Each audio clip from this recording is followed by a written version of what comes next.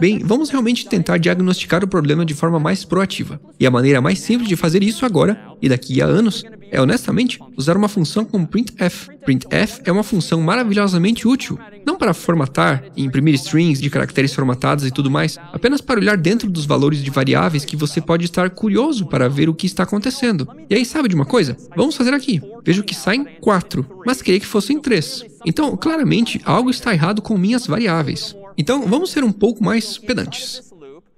Vou entrar neste loop e, temporariamente, dizer algo explícito, tipo i barra n. Então, basta conectar o valor de i, certo?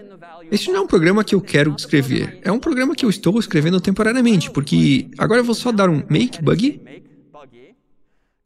bug, e se olhar agora para a saída, eu tenho algumas informações úteis de diagnóstico. Tenho 0 e eu recebo um hash. Tenho 1 um, eu recebo um hash. 2 e eu recebo um hash. 3 e eu recebo um hash. Ok, espera aí. Estou claramente tendo vários passos porque talvez eu tenha esquecido que os computadores estão essencialmente contando a partir do zero. E agora, ah, é menor ou igual a? Agora você vê, né? Novamente, o um exemplo trivial, mas apenas usando printf, você pode ver dentro da memória do computador apenas imprimindo coisas assim.